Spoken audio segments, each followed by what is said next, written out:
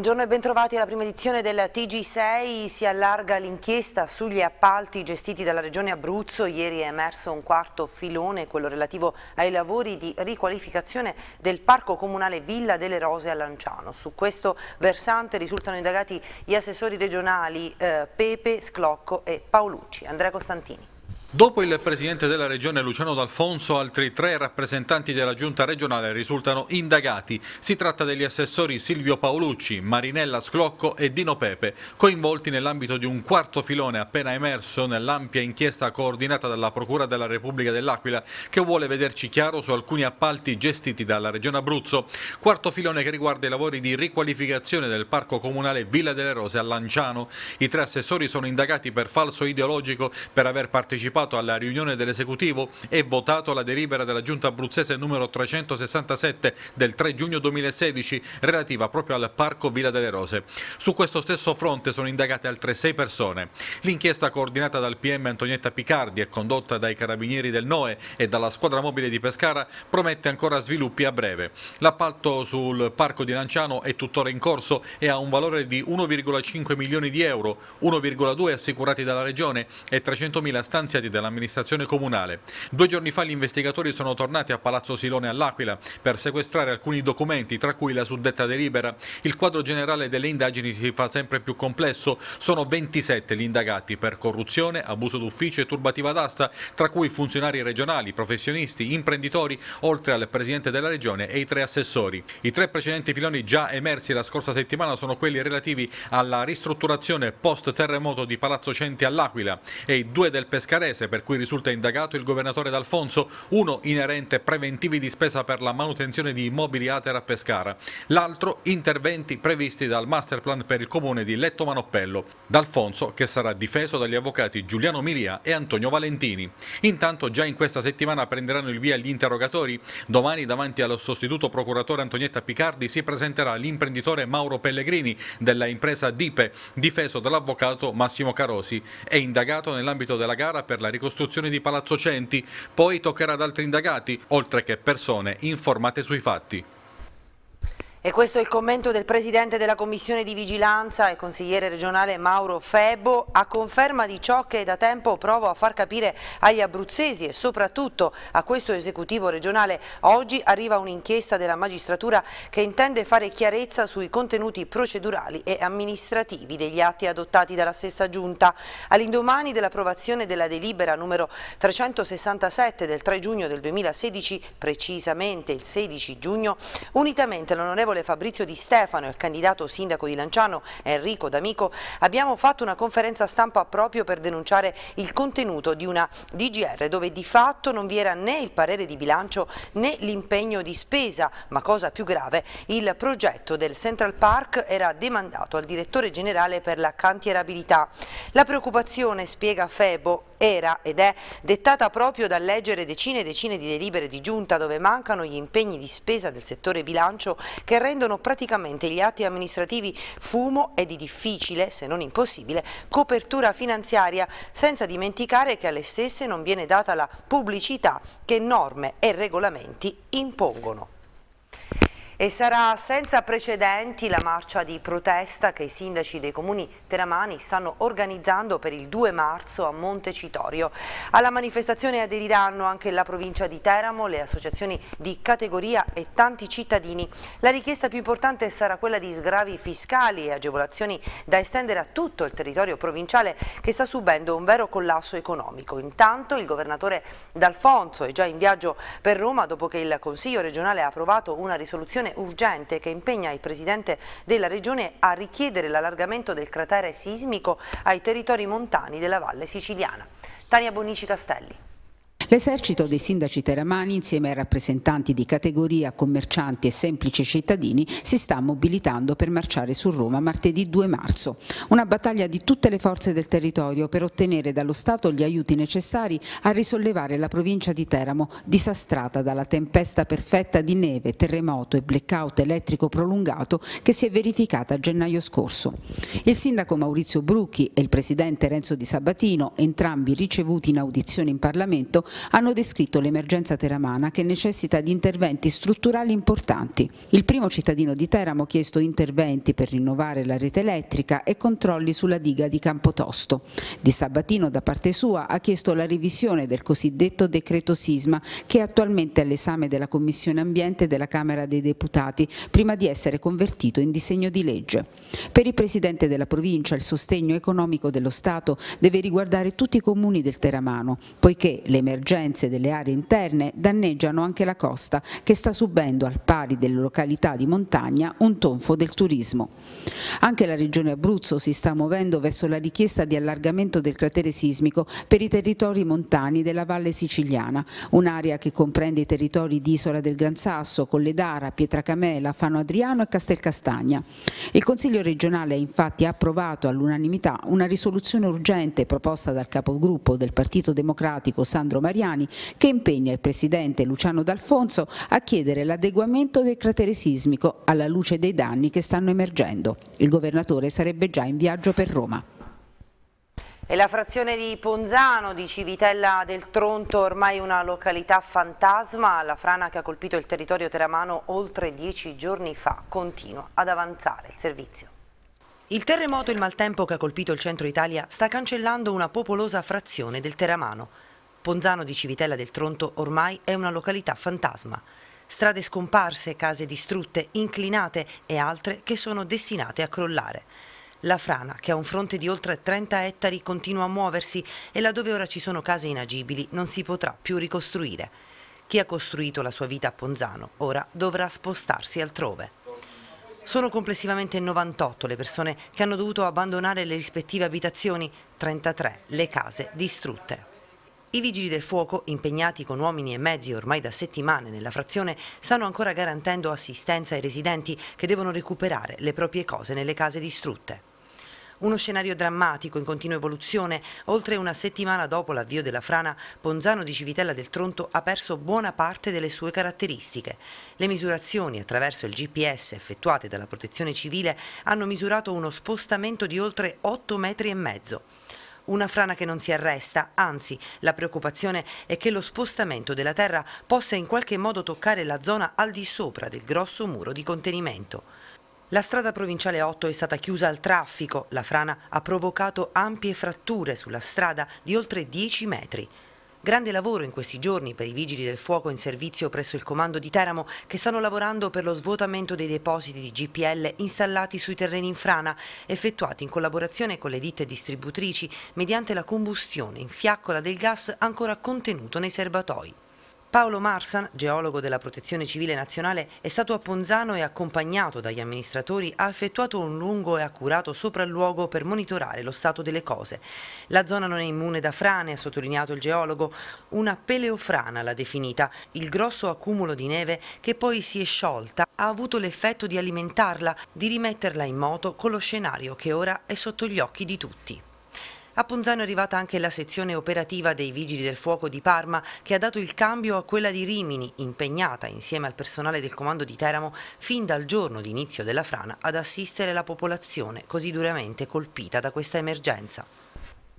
E ancora disagi nell'area vestina dopo l'ondata di maltempo che ha colpito l'intero territorio. A Farindola gli allevatori fanno la conta dei danni subiti e si dicono preoccupati per le prossime produzioni e quindi il mancato fatturato. Vestina News.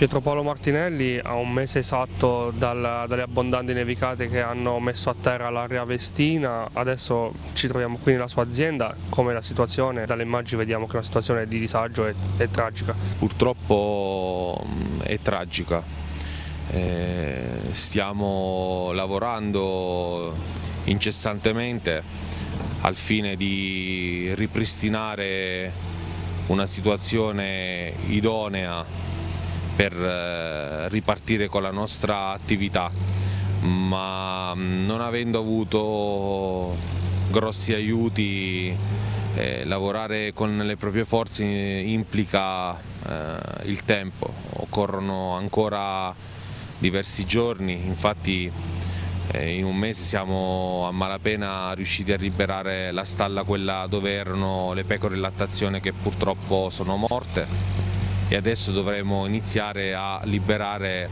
la, la stalla quella dove avevamo i mezzi eh, diciamo al coperto. Le produzioni purtroppo con la perdita delle pecore in lattazione sono diminuite di due terzi. Avevamo una raccolta giornaliera di latte di 800 litri e adesso stiamo facendo appena 280-300 litri al giorno. E quindi soprattutto questo è il punto che mi preoccupa molto di più le mancate produzioni per i prossimi 4-5 mesi che di conseguenza porteranno a una diminuzione di prodotto, a una diminuzione di fatturato. Sarebbe utile anche che le forze politiche venissero sul posto a controllare di persona com'è la situazione per rendersi conto di quali potrebbero essere anche le cose da fare. Quello sarebbe la prima cosa, infatti io auspicavo eh, diciamo in una visita del ministro Martina cosa che invece a quanto pare non è ancora avvenuta perché solo stando sul posto ci si può accorgere e si può toccare con mano la, la realtà. Ancora cronaca, picchiavano e minacciavano il padre per ottenere i soldi per acquistare la droga. Due fratelli gemelli sono stati così arrestati e posti ai domiciliari dagli agenti della squadra mobile coordinati dal vicequestore aggiunto Pier Francesco Muriana che hanno dato esecuzione a un'ordinanza di custodia cautelare emessa nei confronti dei 27enne pescaresi per il reato di maltrattamenti in famiglia commessi nei confronti del padre nel periodo compreso tra il 2014 e il 2016.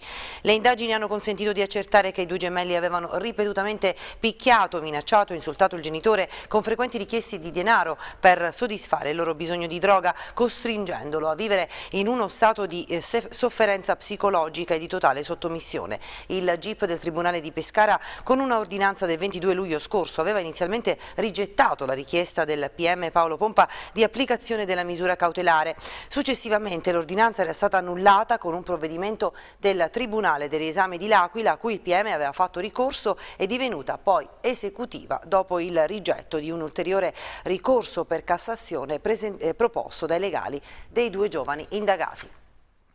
La CNA Abruzzo esprime forte preoccupazione per la situazione del depuratore di Pescara e per i tempi lunghi previsti per una nuova realizzazione alla vigilia della stagione balneare ormai alle porte. Paolo Renzetti. Tomei, mancano pochi mesi all'inizio della stagione balneare, si parla ancora di problemi del mare, del fiume di Pescara, di questi lavori per il nuovo depuratore che eh, potrebbero prolungarsi. Siete preoccupati? Beh, certo che siamo preoccupati, un problema annoso che si ripresenta puntualmente ogni anno prima della stagione senza che ci siano risposte né per le imprese balneari e tantomeno per i cittadini.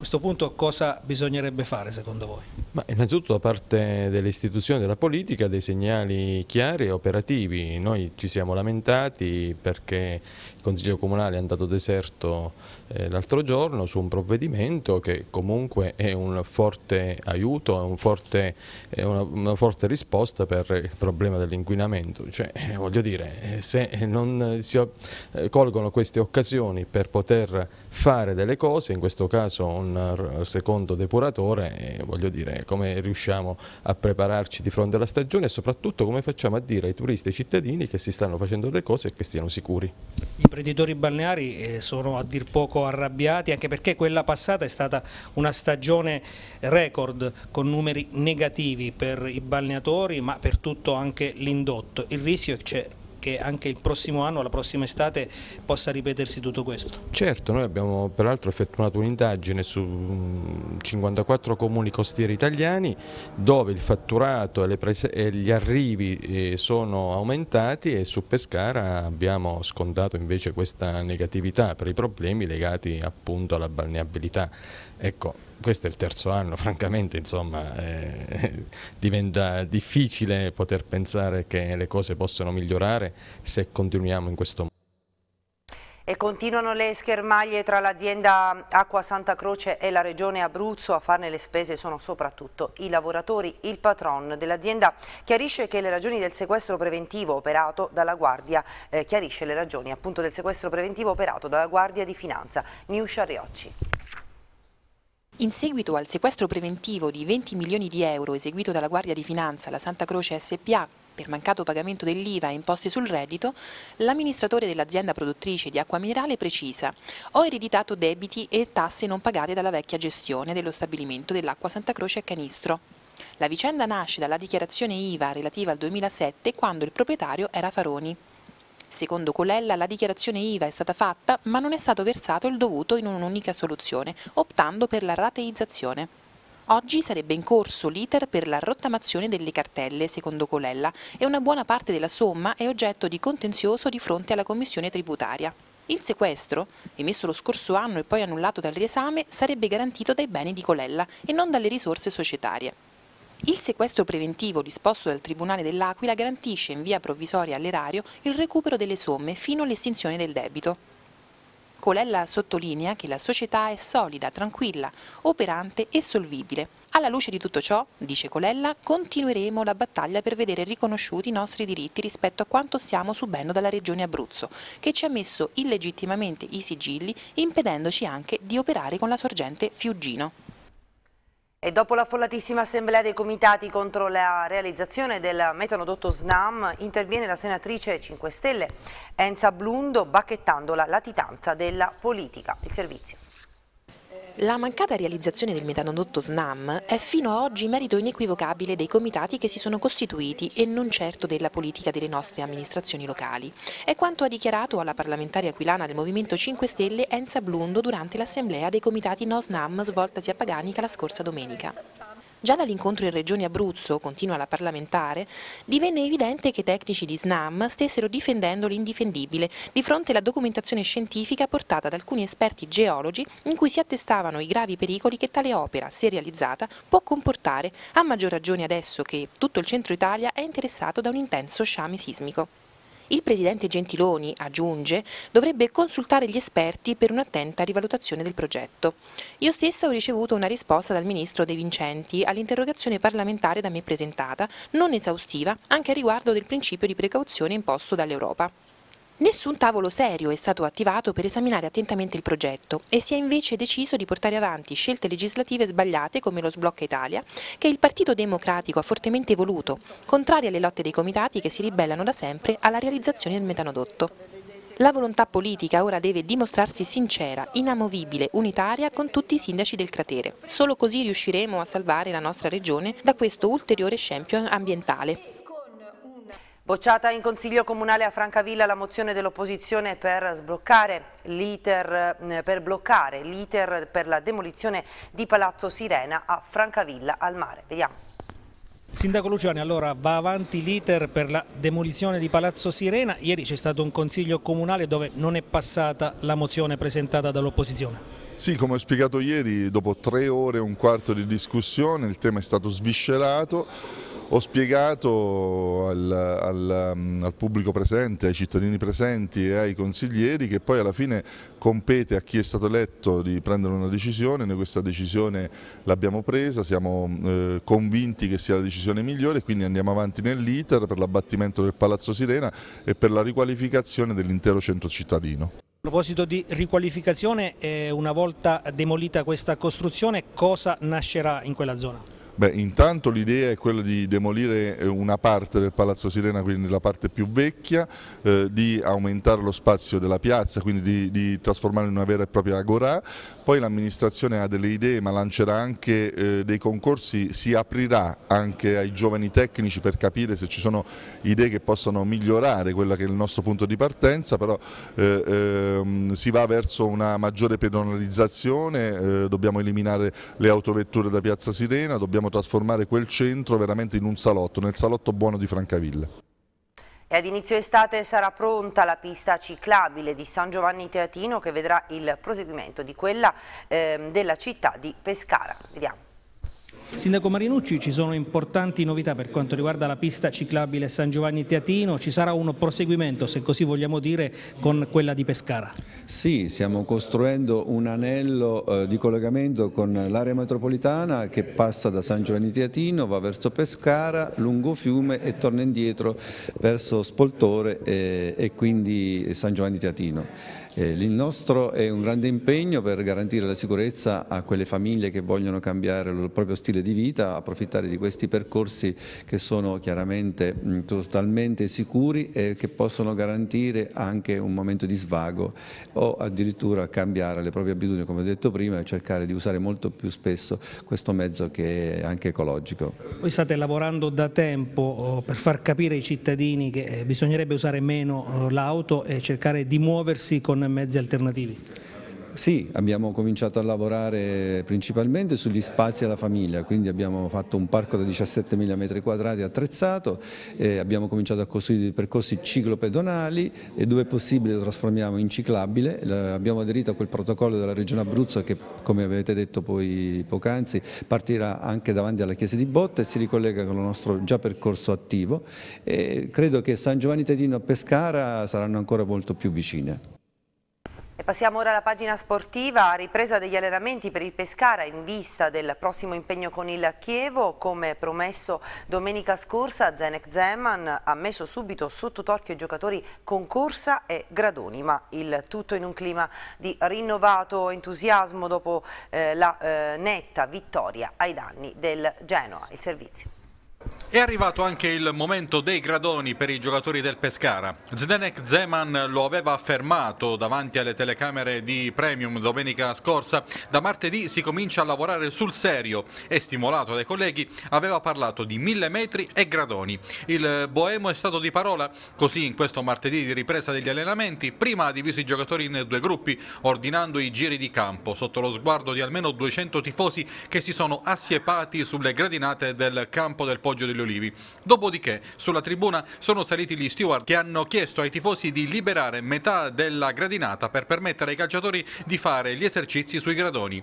Zeman e i fidi Cangelosi e Ferola hanno messo sotto torchio i calciatori biancazzurri ma in un clima di rinnovata fiducia ed entusiasmo generati dalla goleada rifilata al Genoa. Il 5-0 dell'Adriatico Cornacchia ha restituito nuova linfa ad un ambiente che si era depresso e si stava rassegnando alla retrocessione ma che ora confida nelle cure del tecnico Boemo Sanremo per una sfida all'apparenza ai limiti dell'impossibile. Le prossime tre partite potranno chiarire se il Delfino può rimettere in piedi la rimonta salvezza. È appena iniziata la settimana di lavoro che porterà alla trasferta di domenica prossima al Bentegodi di Verona contro il Chievo, ancora lavoro differenziato per Campagnaro, Girardino e Buyback, assenti Biraghi e Caprari, impegnati nello stage della nazionale a Coverciano.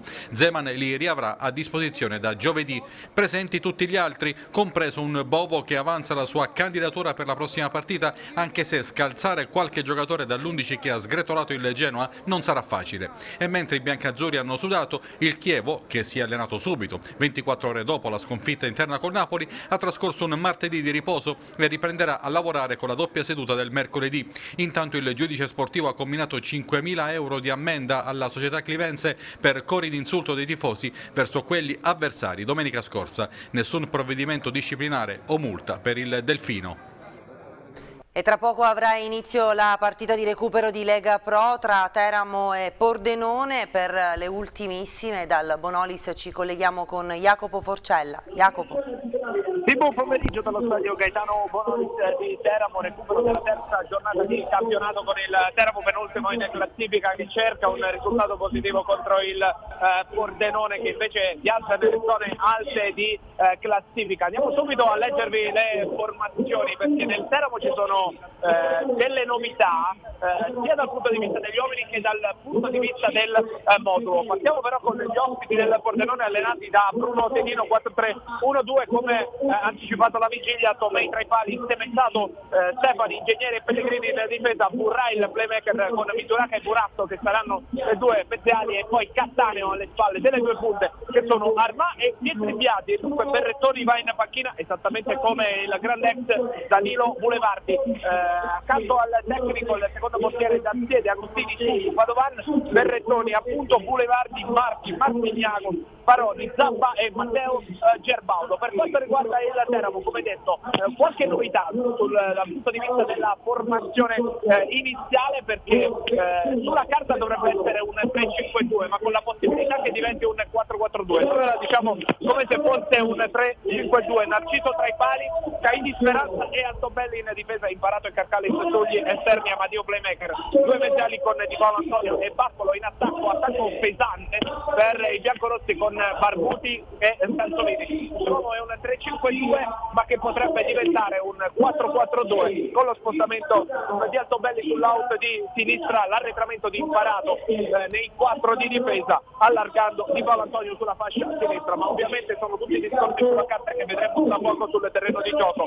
Accanto al tecnico Guido Ugolotti in panchina vanno il secondo portiere Tomas Calore poi Palladini, Petrella, Camilleri Ilari, Masocco, Scipioni, Carraro, Fratangelo, Mancini, Cesarini e Tempetti. Arbitro dell'incontro Alessandro Frontera della sezione di Bologna assistenti Giuseppe Antonacci di Barletta Istante delicato della sezione di Siena nei biancorossi squalificato Salenti disponibili di ex Pallini, Branduani e Spighi ma il Teramo oggi deve assolutamente conquistare un risultato positivo per tirarsi fuori da una classifica che la vede al penultimo posto a quota 21 punti le squadre non sono ancora sul terreno di gioco per il momento è tutto dello stadio Gaetano Bonolis alle 14.30 il fischio di di Teramo Pordenone vi segnalo la presenza in tribuna anche del presidente della Pescara Daniele Sebastiani del direttore sportivo Biancazzurro Luca Leone per assistere alla partita di questo pomeriggio per il momento è tutto poi studi e lasciamo il calcio perché dopo 25 anni torna in Abruzzo il grande tennis. Il circolo di Francavilla al mare ospiterà l'evento dal 22 al 30 aprile prossimi. Vediamo. Una manifestazione internazionale che abbiamo fortemente voluto sia per l'evento sportivo in sé ma anche per promuovere il nostro territorio e la nostra eh, regione. Eh, sarà un evento con un montepremi importante e speriamo che eh, ci saranno quindi atleti di eh, caratura internazionale dal cinquantesimo in giù che eh, potranno partecipare a questo, a questo, evento che secondo noi è eh, non solo importante dal punto di vista sportivo sportivo in sé ma anche di promozione del nostro territorio. Parliamo di questa manifestazione di Francavilla, un torneo internazionale di grande prestigio, vogliamo dare qualche numero? Si tratta di un torneo con 32 giocatori in qualificazione, 4 dei quali passeranno al tabellone principale dove ci saranno eh, 28 ammessi più 4 qualificati e tra i 28 ammessi ci saranno anche 4 wildcard, cioè 4 inviti speciali da parte dell'organizzazione. Vedremo all'opera quelli che, sono, che potranno essere, perché no, anche i futuri campioni del nostro tennis. Sì, difatti nel 2003 eh, Rafa Nadal vinse il suo primo torneo professionistico a Barletta, che appunto è uno dei tornei del circuito Challenger italiano e tanti altri campioni in passato hanno iniziato la carriera qui, Juan Carlos Ferrero, Sebastián Grosjean, tantissimi giocatori che sono arrivati nei primi dieci della classifica mondiale hanno mosso i primi passi nel tennis professionistico proprio qui in Italia. Come mai avete scelto Francavilla? Era forse il momento giusto per cui questa regione tornasse nel circuito principale. Ed è tutto per questa prima edizione del TG6, l'appuntamento con l'informazione torna puntuale alle ore 19. Grazie per l'attenzione e buon proseguimento.